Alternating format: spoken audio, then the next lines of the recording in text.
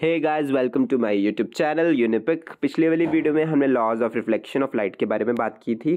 जैसे कि आप एक्सपेरिमेंट भी देख सकते हैं, यहाँ पे 20 डिग्री का एंगल ऑफ़ इंसिडेंट बन रहा है तो रिफ्लेक्शन भी 20 डिग्री का ही बन रहा है। तो ये लॉ ऑफ़ रिफ्लेक्शंस जो है, हमारा पूरा प्रूफ होता है।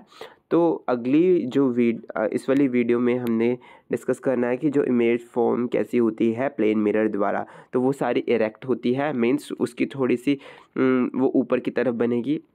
ठीक है एलिवेटेड पोजिशन में बनेगी इमेज अपराइट बनेगी, ठीक है वर्टिकल वगैरह बनती है और जो इमेज होती है वो काफ़ी ही सेम साइज़ की होती है एज ऑब्जेक्ट तो इमेज वैसी ही बनेगी जैसे कि वो ऑब्जेक्ट है सेम साइज़ की बनती है और image is at the same distance from the mirror as object is front of it जो भी ऑब्जेक्ट मिरर के फ्रंट में है तो सेम ही डिस्टेंस पे इमेज बनती भी है। आप जैसे इस पिक्चर में भी देख सकते हो तो जिसका यहाँ से लेके यहाँ तक डिस्टेंस है उतनी ही इसका यहाँ से लेके इमेज तक डिस्टेंस होगा। तो ये एक वर्चुअल इमेज होती है मीन्स कि ये स्क्रीन पर बनती नहीं इमेज और ये लेटरली इन्वर्टेड है।